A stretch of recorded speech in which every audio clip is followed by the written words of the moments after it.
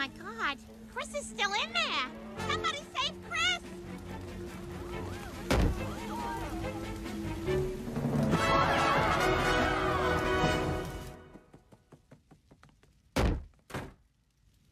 You know what? He's earned that.